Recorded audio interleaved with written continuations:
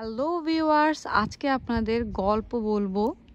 প্রথম গল্পটা হচ্ছে এই বাড়িটা নিয়ে। বাড়িটা দেখতেই পাচ্ছেন কি সুন্দর। আমার তো সেই পছন্দ হয়েছে এই বাড়িটা।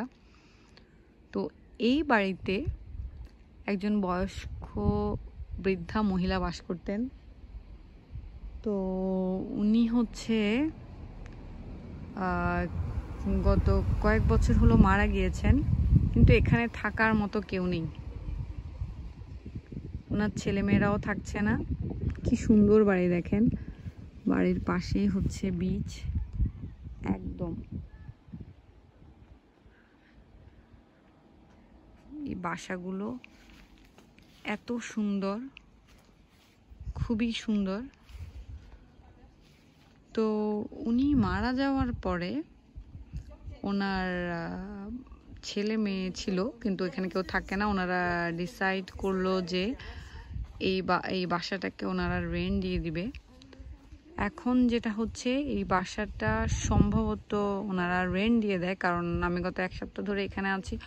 অনেক মানুষের যাওয়া আসা দেখলাম। মেবি ইয়ার বিএনবির মতো কিছু একটা হবে। মানুষ শুধুমাত্র ভ্যাকেশন পালন করার জন্য কিছুদিনের জন্য এই বাড়িটাতে আসে। তো শেয়ার করার পিছনে একটা কারণ আছে। কারণটা হচ্ছে, আমরা কত ভোগ বিলাসী মেতে থাকি, কত কিছু আমাদের ঘর বাড়িগুলা কিন্তু রয়ে আছে দাঁড়িয়ে। যেমনটি ছিল, তেমনটি তার চেয়ে আরও বেটার পজিশনে যাচ্ছে। আমরা সমুদ্রের অতলে হারিয়ে যাচ্ছি। আজকে আমি এখানে দাঁড়িয়ে ভিডিও করছি, কালকে আমি নাও থাকতে পারি। কালকে কেন? এক সেকেন্ডের তো ভরসা নেই। তো রিয়েলাইজেশন থেকে এই কথাটা বললাম। সেম এই বাড়িটার ক্ষেত্রেও দুশো বছরের পুরনো বাড়ি ইভেন পাশেরটা। কত প্রজন্ম চলে গিয়েছে? প্রজন্মের পর প্রজন্ম। কেউ কি আছে? যারা আছে তারাও থাকবে না। তো এরপরের গল্পটাও আশা করি মনোযোগ দিয়ে শুনবেন। ফরাসিদের নিয়ে একটা গল্প। আশা করছি আপনাদের ভালো লাগবে। তো শুনুন। আজকে একটা গল্প বলব। খুবই সাধারণ গল্প। ফরাসিদের গল্প।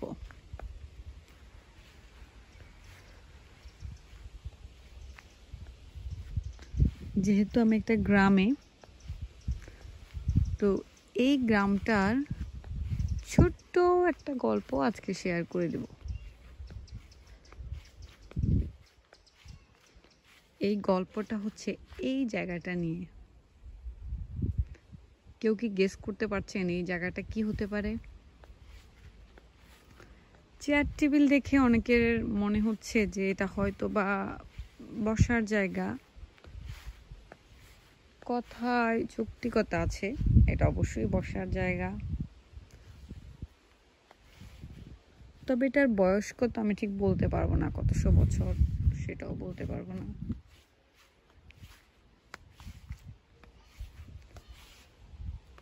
হয়তো কতশো বছর না। একশো প্লাস হতে পারে বা একশো হতে পারে। এই যে এই জায়গাটা।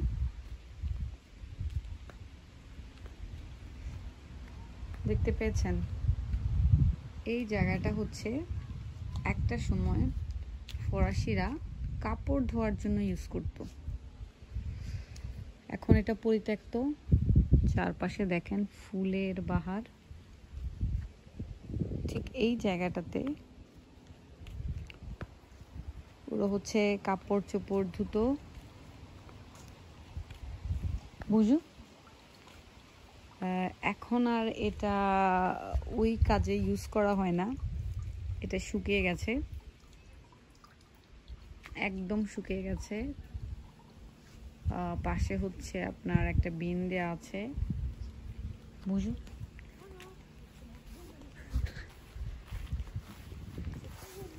Merci. যদি কেউ হচ্ছে কাপড় চোপড় ধুতে এসে এখানটাতে বসে বসে হচ্ছে খাওয়া দাওয়া করলে করল অথবা ওখানে বসে গল্প করে, কাপড়গুলো রাখে। আর ঠিক এই জায়গাটাতে হচ্ছে কাপড়গুলো আগে ধুতো আর কি। তাও কত বছরের পুরনো ইতিহাস আমি ঠিক জানি না। কত বছরের পুরনো ইতিহাস?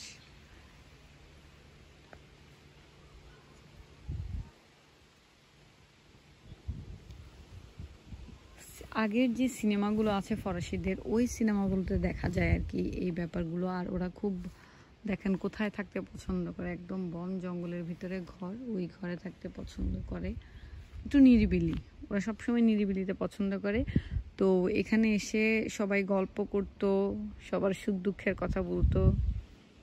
এটা একটা সময়ের কথা বলছি আমি। এখন তো পসিবল না, এখন ঘরে ঘরে ওয়াশিং মেশিন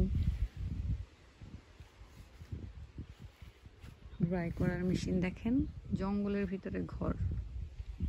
ওরা খুব এনজয় করে। যে এখানে দেখেন আরেকটা।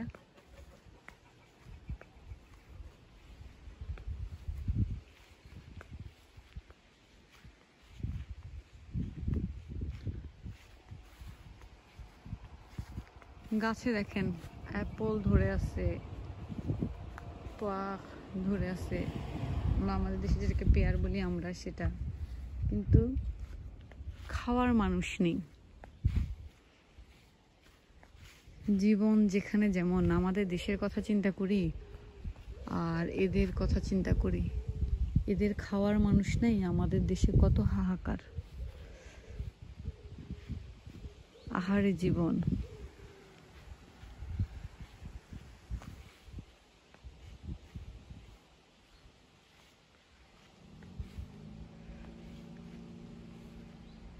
তো আমি চেষ্টা করছি আপনাদের সাথে শেয়ার করার জন্য, আর আপনারা তো দেখতেই পেয়েছেন। ওই যে বাসাটা, এটা হচ্ছে আন অলিবেদের বাসা, এটা হচ্ছে পেছনের দরজাটা। আগে যারা এই বাসাগুলো ইউজ করত, তারা হচ্ছে, বিশেষ করে মহিলারা, এই যে পিছনের, বাড়ির পেছনের যে দরজাগুলো ওগুলো ইউজ করতো। এই যে ছোট দরজা জাস্ট বাসা থেকে এখান দিয়ে বের হয়ে এই যে কাপড় ধোয়ার জায়গা।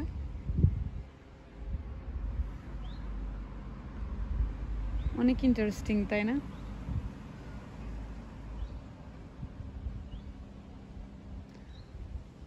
আমার তো ওদের হিস্ট্রি শুনতে ভালোই লাগে। আমি শুনি, আমি আনকে জিজ্ঞেস করি ওদের হিস্ট্রিগুলা আমার কাছে ভালো লেগেছে, আপনাদের কাছে কেমন লেগেছে, আমাকে অবশ্যই জানাবেন, অবশ্যই অবশ্যই জানাবেন। আমি চেষ্টা করছি ছোট ছোট ছোট ছোট আকারে আপনাদেরকে ব্লগগুলো শেয়ার করে দেওয়ার জন্য। যতটুকু আমি জানি, তো আপনাদের আসলে মন্তব্য না শুনলে আমি আসলে অনেক বেশি শেয়ার করতে পারছি না। আসলে আপনারা পছন্দ করছেন কিনা ভিডিওগুলো বা আপনাদের কিছু জানার আছে কিনা, অবশ্যই আমাকে জানাবেন। যারা নতুন দেখছেন তারা সাবস্ক্রাইব করবেন লাইক কমেন্ট শেয়ার দিতে ভুলবেন না। তানিস লিটল ওয়ার্ল্ডের সাথে থাকবেন। ভালো থাকবেন সবাই। আল্লাহ হাফিজ।